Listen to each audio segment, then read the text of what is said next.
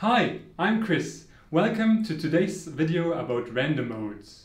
In this session, you will learn how to focus on specific objects in your design, how to use 2D and 3D views and special render modes, as well as how to show frames in your visualization.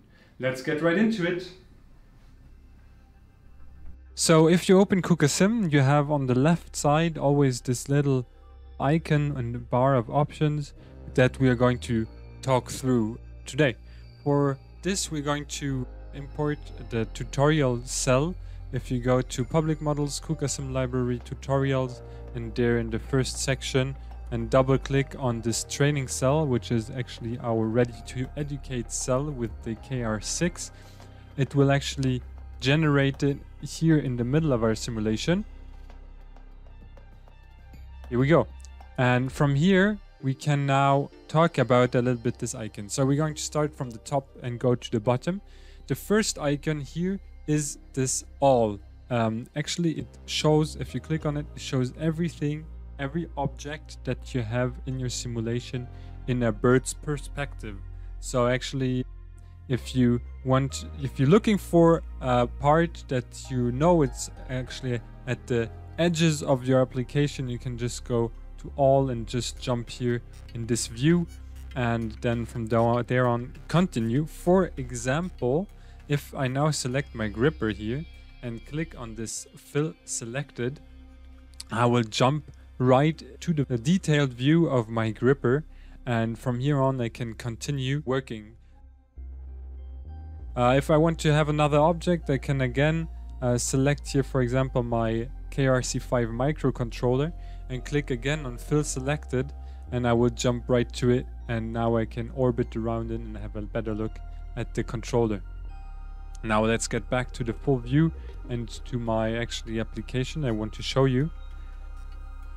So if I get closer I can use this next icon, the headlight, to actually change the lightning inside my simulation. So if I deselect it, for instance, then this is the normal light that will come from the top.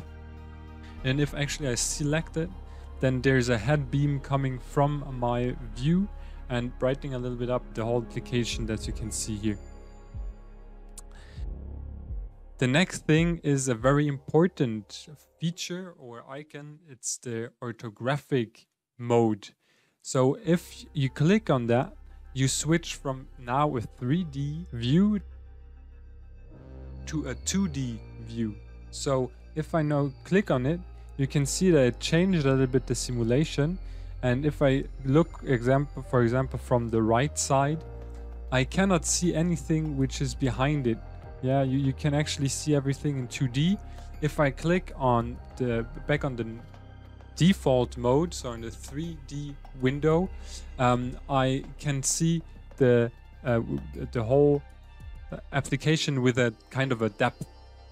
And this is very useful if you have some detailed work, for example, um, that you need to do uh, between your gripper or something, and you don't want to have uh, any uh, obstructions in the middle. You can actually select and deselect this 3D and 2D view. Also, if you're doing something from the top, you need to take screenshots or something. You need to see exactly the distances. You can use this 2D view. Let's get back to 3D because it's a little bit more beautiful and almost like in the real world. Now, we want to change a little bit the render modes. So if I click here on this icon, I have a drop down menu of different modes that I can choose. We're going to start from the top the first one is wireframe. So actually you can see all the tessellations of our objects that we have right now. So you might see that there is a lot of little shapes and uh, triangles here around the robot. And you can see through it a little bit. Let's continue to the all edges shaded, which is actually the same thing, but uh, there's a color added here to the faces. And this can come in way more useful um, as soon as you want to uh, select a specific face or edge or if you want to have a path planning around a certain edge then you might want to use this.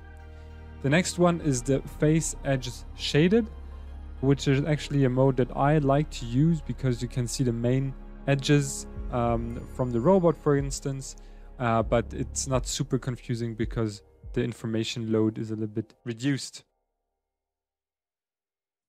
The next one is the X-ray shaded, where you can actually see through objects. So if we go on the other side of our ready to educate cell, we can see the touchpad here, which is actually on the other side. This is very useful if you're looking for object that uh, somehow got missing. You can use that. Uh, then the next one is the shaded view or render mode, uh, where you don't see any edges, but it's actually a little bit more uh, with the lightning. Uh, there's more details here, and then there's this material shaded, where you can actually see the faces that they are more shiny. In addition to that, we have this realistic shaded, where there is a little bit more, yeah, shades. You can see the difference in the face of this man. And the last one is the same option but with edges. So again, you have the main edges of the robot um, that you can now again use if you want to select uh, some specific edges, for instance. Let's get back to this face edge shaded and now continue with this little icon. If you click here on the frame types and select it, it will show you all the frames that are actually in the program view of this robot or in the modeling view. So uh, I have all the PNP frames and everything and you can actually select them and deselect them here uh, with robot frame, robot positionings. So now this is all the, the standard frames and if I want to add the tools and the bases for instance I deselect that and I can only see tools and basic as soon as I go in the program view and select my robot. So should actually show the tool and the base frames here. So deselect this. You can see that the tool data is here and the base data here. Let's go back to home. And um, here you can actually configure what you want to see from your frames. So if I take out the labels or the axes, then you see that actually only the center of the points are still here and actually you can again select everything to let it appear. The last icon that we have here on the left side is the view editor. If I like this specific view, I can click on this big plus and it will save the view. And if I have another one, uh, I don't know, closer to the table here, I'm going to have a lot of uh, work on this table with the robot. So I want to add another view and I can now actually click on them and uh, zoom in to these views very easy and very smoothly without any usage of these views down there where you can actually see stuff from the bottom from the back and in between actually uh, remember to use the little uh, options here in between to actually uh, see uh, more details uh, from a specific angle. Thank you for watching this video. If you would like to see more interesting videos about KUKA Simulation World, feel free to hit the like button and subscribe to the channel. Looking forward to seeing you in the next video.